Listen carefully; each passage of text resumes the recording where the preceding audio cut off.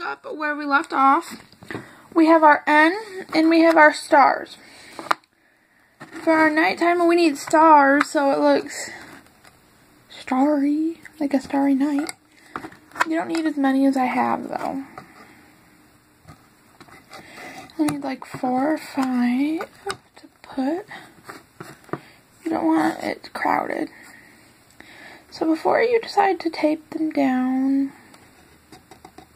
glue or whatever, decide where you want them to be.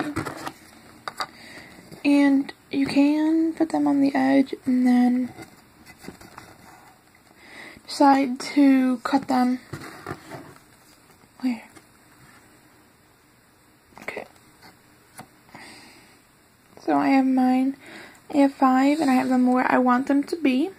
So now I am going to... Okay, so now I'm going to take a pencil and I'm going to write where my... Going to draw a line where my star needs to be cut off.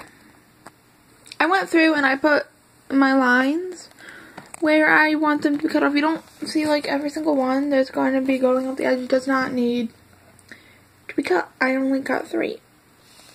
So that space is less crowded.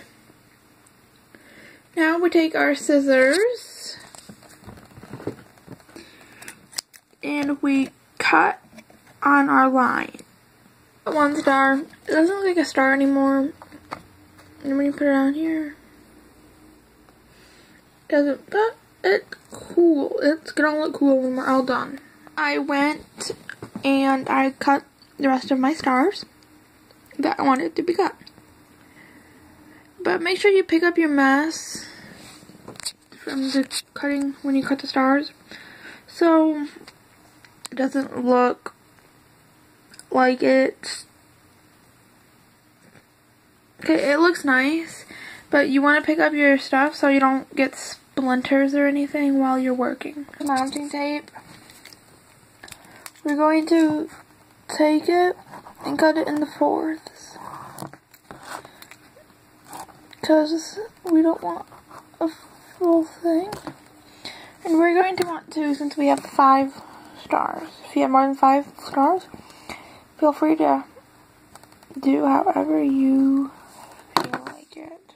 Now once we have them cut, we're going to take our stars and we're going to peel them, our little squares, and we're going to put them on the back of our stars. Now once we have put our stars on our end, we are finished and we picked up our mess. We are finished finished. Um, please like and subscribe. And hope you come back for more how-to videos.